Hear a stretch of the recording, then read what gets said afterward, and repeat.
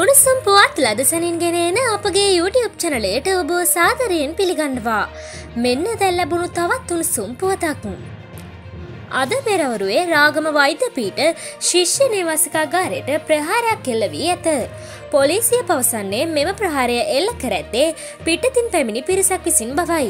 ප්‍රහාර හේතුවෙන් වෛද්‍ය ශිෂ්‍යයෙන් සිව් දෙනෙකු තුවාල ලබා රෝහල් ගත කර ඇත. පහරදීමට පැමිණි එක් අයෙකු පොලිසිය විසින් අත්තඩංගොඩගෙන තිබේ. මෙවැනි උණුසුම් පුවත් ලදසනින් දැන ගැනීමට අපගේ YouTube චනලේ සබස්ක්‍රයිබ් කර බෙල්ලයි කනේ ක්‍රියාත්මක කරන්න.